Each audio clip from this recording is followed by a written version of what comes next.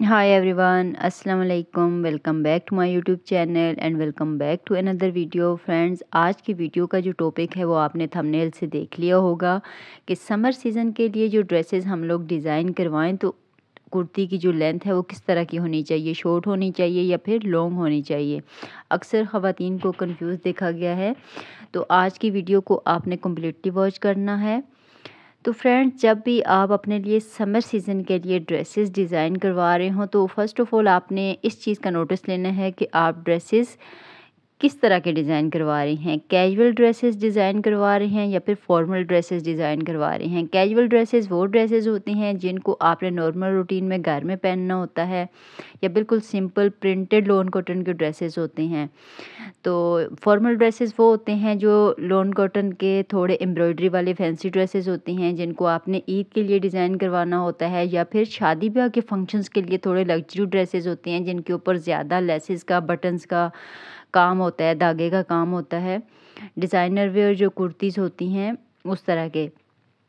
اگر تو آپ نے کیجول ڈریسز ڈیزائن کروانے ہیں، جن کو آپ نے نارمل لائف میں ویئر کرنا ہے، گھر میں کیجول یوز کے لیے سمپل پرنٹڈ لون کاٹن کے ڈریس ہے، تو پھر ان کی جو لینتھ ہے، وہ آپ نے ہمیشہ نی لینتھ یعنی کہ مڈل لینتھ رکھوانی ہے۔ نہ تو بہت زیادہ شارٹ ہونی چاہیے، نہ بہت زیادہ لانگ ہونی چاہیے۔ مڈل لینتھ والے جو ڈریسز ہیں، ان کو آپ گھر میں بھی ایزیلی کیری کر سکتی ہیں اور کہیں آتے جاتے وقت بھی۔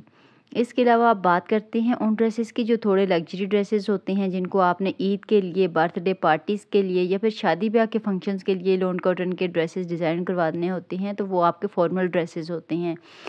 تو ان کی جو لینتھ ہے وہ آپ رکھوا سکتی ہیں۔ ان میں آپ لانگ فروک بھی اپنے لیے ڈیزائن کروا سکتی ہیں لانگ کرتیز بھی اپنے لیے ڈیزائن کروا سکتی ہیں۔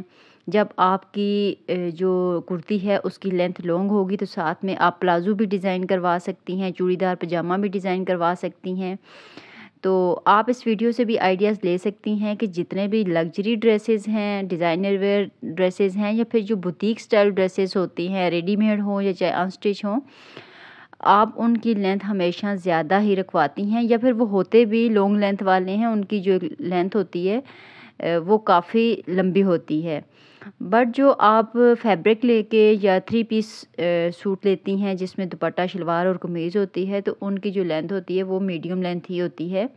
وہ آپ کیجول یوز کے لیے ڈیزائن کروا سکتی ہیں۔ اس کے علاوہ آپ کو اس ویڈیو سے بھی کافی سارے پیٹرن ملیں گے کہ کس طرح کی کرتیز آپ سمر سیزن کے لیے ڈیزائن کروا سکتی ہیں اور بہت ہی خوبصورت سے کلرز بھی ملیں گے۔ ملتے ہیں نیکسٹ ویڈیو میں۔